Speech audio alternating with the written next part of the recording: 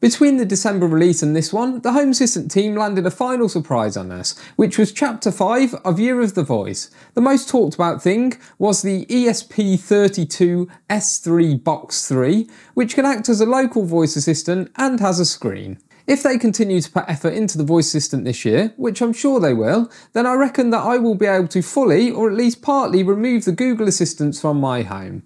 They also added the ability to add an item to a to-do list, ask for what the weather is like and a few other bits as well. The most powerful addition is probably the ability to add voice assistants to areas, just like you can with Google, so that you don't have to tell it what room you're turning the light on in. In the coming months, I plan to dig into the voice assistant in more detail, so watch out for those videos. But in the meantime, let's take a look at the features for this release.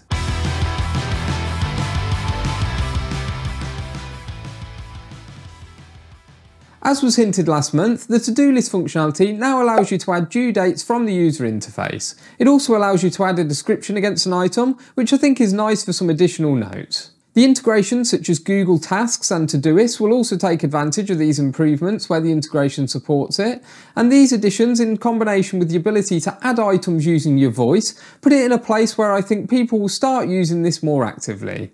Although it's in the blog post, I can't get adding a to-do item using your voice to work at the moment, but I'm sure that they'll get that fixed soon.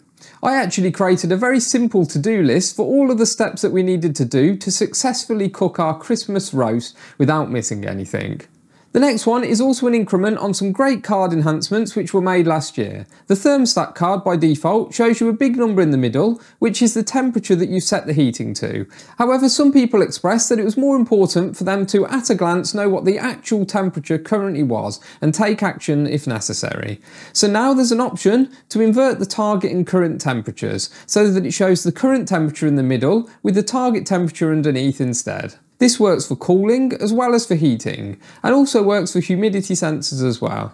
Now onto a new card feature which allows you to include the fan modes into the thermostat or tile card. You just need to add the climate fan modes feature to one of these card types using a climate entity which has fan control. In the release notes it shows the fan modes as icons but I can't get them to show as this at the moment. I can only get them to show as drop downs at this point. By the main release, hopefully it will have the style option available like you have with HVAC mode so that you can select between drop downs or icons. If you display the status of Home Assistant add-ons using a tile card, you can now add action buttons to either skip or update the add-on directly from the button on the card. Previously, it would just show you the version you're on and you would have to click into the card to skip or perform the update. There is also a new entity type for this release called the valve entity. This allows you to control how much a valve is open for something like a water valve or a gas valve or your radiator valve. If you have the Shelly gas valve add-on, then this is supported with the new valve entity type. At time of recording, this device appears to be unavailable though. If you have a DIY smart valve, then you can use this functionality by using an MQTT entity. You can set it to open, closed, or a percentage in between. I suspect that if you've got a gas leak, you're not going to want to only half close your valve, but cleverly, the entity dialog has an option to change it between a slider and an open or close button. It also apparently works with Google and Amazon voice assistants, so let me know in the comments if you plan to use this entity type, because it's an area of smart homes which feels quite immature still, but it'll be interesting to see how many of you have started exploring smart valves. I guess radiator valves are probably the most common thing at this point. Now onto the automation editor, quite a few changes have been made here for this release. The first is to help new people to Home Assistant. If you don't have any automation set up, then you'll be greeted with some information on how the automations work, and links to relevant documentation as well. I know I keep saying it, but I'm really impressed with how mature and professional the Home Assistant team and product has become. I hope that they keep finding the enthusiasm to improving the product. After all, I believe that smart homes are still very much in their infancy. Now comparing a blank automation between the previous version and this one, you can see that triggers, conditions and actions have been renamed to make them more user friendly. IFTTT probably started this trend off many years ago with if this then that, and now most automation products do similar. You can also see a new add building block button next to the condition section, which separates out the items which aren't actually conditions.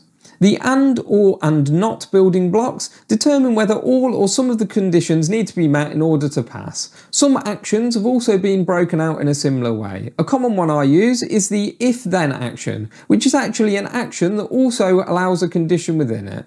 And when you add a condition or action, you're now presented with a searchable list that you can then drill into to find the specific item you're looking for. It's probably going to take a bit of getting used to, but it's definitely an improvement and must have taken quite a while to develop and test it.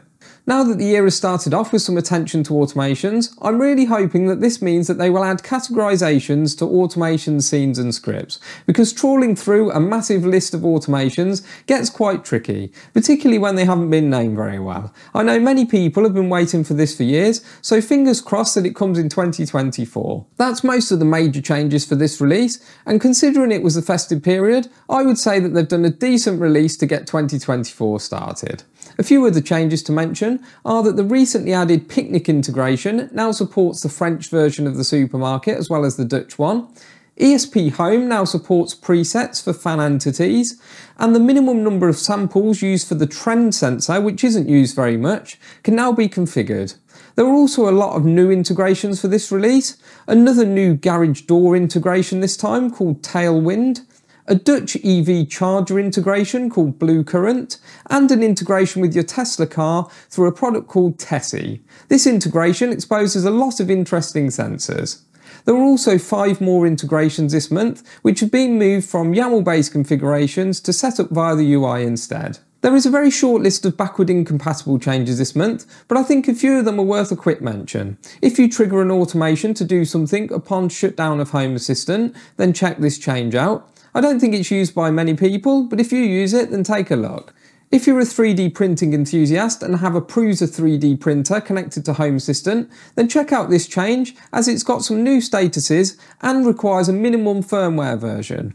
If you've got Reolink security cameras and use the infrared lights on it in your automations, or probably more likely on your dashboards, then take note that the entity has changed from a light to a switch.